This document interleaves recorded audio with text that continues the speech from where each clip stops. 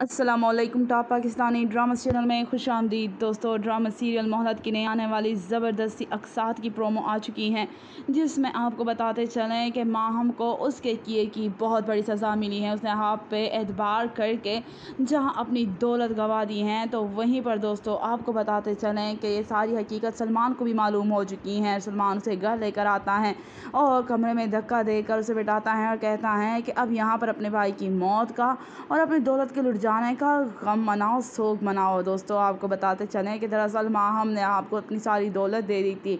उसके बाद जो कुछ आपके साथ हुआ और जो कुछ उसकी अम्मी के साथ हुआ, माँ हम को पर सलमान एतबार नहीं करता और वो सलमान को लेकर आई, लेकिन यहाँ पर भाई घर पर ही नहीं था पिरताने के चक्कर भी लग गए और अब की बार तो सलमान को और ज़्यादा गुस्सा है। माहम हैरान और परेशान हैं कि उसकी सारी दौलत लुट चुकी है उससे तो किसी की भी परवाह नहीं थी, लेकिन यहाँ पर तो उसकी अब सारी दौलत भी लुट चुकी है। क्या माहम की किस्मत में सिर्फ़ खसारा और पछतावा है। कमेंट में अपनी कीमती राय ज़रूर दीजिएगा। शुक्रिया।